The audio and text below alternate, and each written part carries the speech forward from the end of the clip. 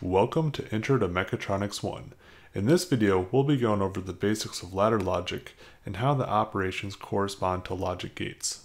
I'm going to make the assumption that you understand the basic of logic gates. If not, there are some digital logic videos on this channel. So to begin, ladder logic consists of rungs of a ladder that represent the operations or group of operations to be performed by the program. Within these rungs, there are two types of contacts. Normally open, which means that by default the circuit is open or not connected until you activate this contact.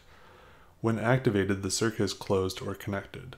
This is represented by two parallel lines. And normally closed, which means by default the circuit is closed or connected until you activate the contact, then it is open or not connected. Normally closed is two parallel lines with a diagonal line to represent that is closed or connected by default. These contacts connect into a coil that could represent a motor, light, or other device that can be energized or not energized, on or off. These coils can be normally inactive, which is normally off, or normally active, which is normally on.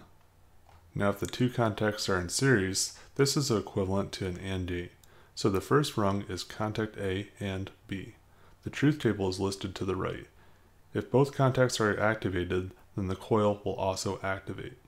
If the two contacts are in parallel, then this is equivalent to an OR gate.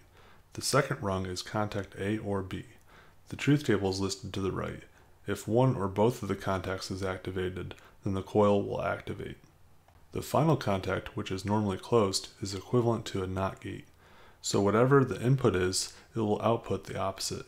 So on is off and off is on. To help you visualize this and for your reference, I'm going to cycle through all of contact A and B possibilities. On the ladder diagram, the green box indicates a logic on. You may want to pause at each slide and take it in. We are basically doing the same thing as the truth tables to the right.